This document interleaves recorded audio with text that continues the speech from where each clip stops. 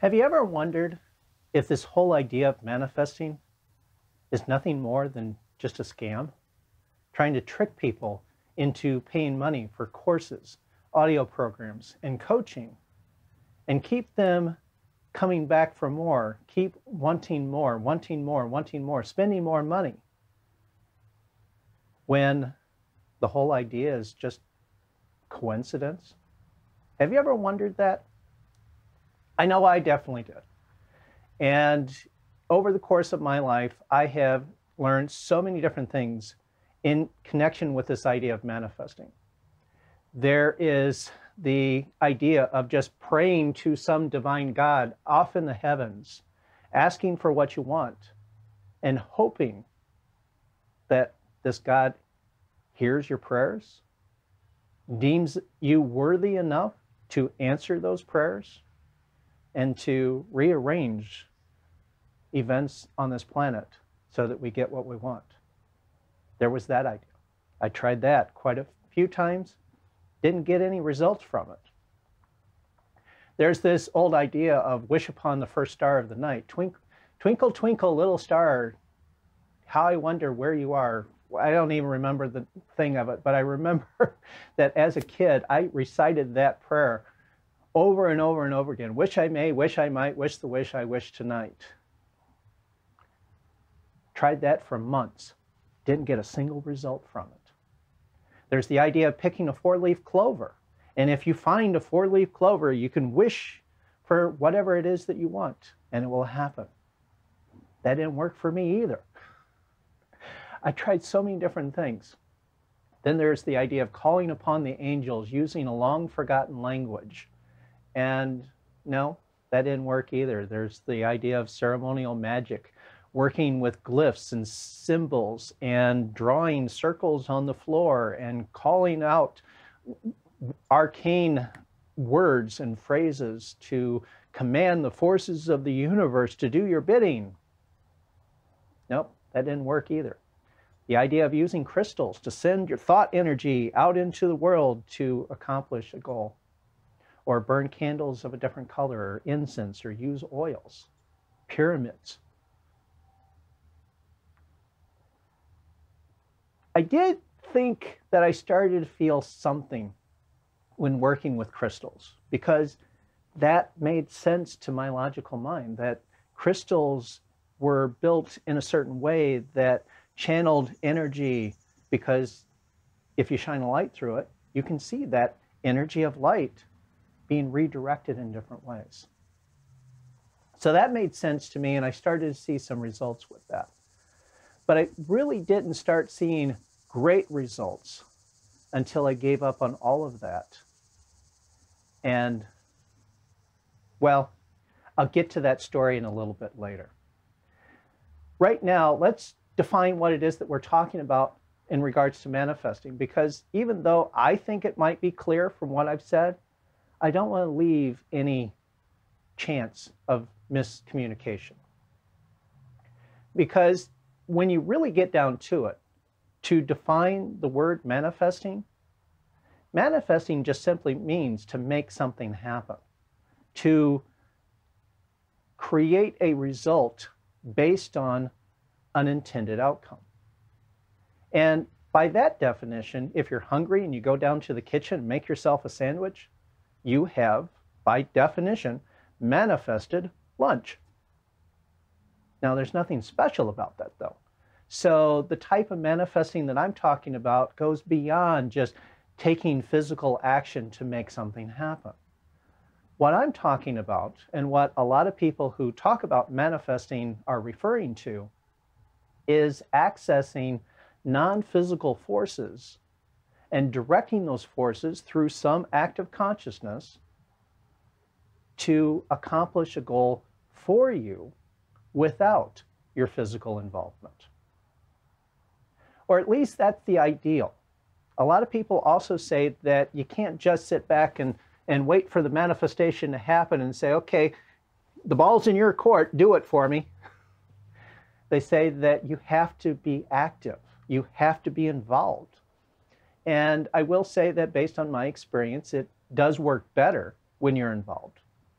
But I've also seen cases, situations where you don't have to be involved. In fact, one of the big examples that I often use is that for whatever reason, and I can get into this later in more detail, but for whatever reason, I have developed this ability to decide what type of weather I want and get it.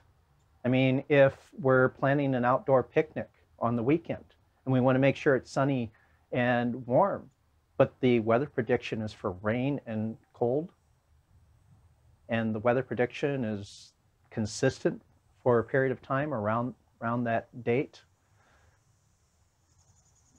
quite often I can say, okay, I don't care what the weather prediction is. I'm going to choose that this is going to be a good day for a picnic. I'm visualizing sunny skies, I'm visualizing dry grass, I'm visualizing a wonderful experience. And nine times out of 10, I get exactly what I'm looking for. It's kind of interesting how well it works sometimes. But getting back on topic, um, this whole idea of manifesting, it seems like there are so many people talking about how it works for them and it works for them, and, and you might get on a forum or a blog or a YouTube channel and read comment after comment after comment of people saying, yes, this worked, yes, this worked, yes, this worked, yes, this worked. And yet, when you try it, it doesn't really work that way. And I know how it feels to think that you're following the instructions exactly. Okay, I'm doing that, I'm doing that, I'm doing that. I'm following all this instructions exactly, but it's just not working for me. I understand that. And what gets even more confusing with this is because there are so many people that say, oh, well, you just do these three steps and, and it's easy. You don't even have to think about it. And what's really interesting is the people who say, you know what? The system that I'm offering you, the system that I'm here to teach you, it works whether you believe in it or not. You don't have to, it doesn't matter what you believe. Just do these things, it's going to work. And you do those things and it doesn't work. So what's up with that? And that's why we can sometimes get into this idea that, well, maybe it's all just a scam. Maybe they're lying to me just to keep get me to keep paying the money to go from basic course to advanced course to coaching and keep escalating. Well, I'm not here to sell you anything, at least not now. I do have a membership that you're welcome to join, but I'm not here to promote that. What I'm here to do is to offer you some ideas about what manifesting is, how it works, how you can do it, and how you can develop the ability to get consistently reliable results every single time. It's not easy. It does take work. And that's the thing that creates the problem because the people selling the systems, the courses, the coaching, they want you to believe that, oh, it's easy, it's easy, it's easy. And to give them the benefit of the doubt and to point out where they are right, if you believe that it's easy, then it will be easier than it would be if you believed that it was hard. So there is some I won't really say smoke screening going on. There won't, I won't really say that there's a lot of misrepresentation going on there, but there is a little bit of a nudge that if you can believe that this is real, if you can believe that it's easy, if you can believe that you're going to get good results, guess what? Your belief is one of the primary factors that determines how well it's going to work for you. So the more you believe that it's going to work for you, the better it's going to work. And that is where a lot of systems fall down because they try to sidestep that issue. They tell you it's going to work whether you believe in it or not, because by telling you that, most people start to believe that it's going to work, regardless of what else they may be thinking. And as long as you can believe that it's going to work, it will work for you to some degree. So, the bottom line is that through the experience that I've had in my life, and I struggled with manifesting for a lot of years. I tried affirmations, I tried visualizations, I tried the crystals, I tried calling upon the angels, I tried everything. And I eventually figured out the patterns that made it work, the principles that make it work. And in this series of videos, I'm going to share with you those principles, those patterns, and how you can make manifesting work for you. So, hopefully, I've answered the question about whether or not this is all a scam. It's not a scam, it does work, but it does take work to make it work. In the next video, I'm going to share with you my story and some of the things that I did to learn manifesting and some of the results that I was able to get with it.